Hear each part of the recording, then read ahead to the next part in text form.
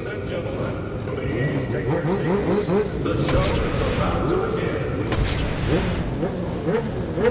to begin.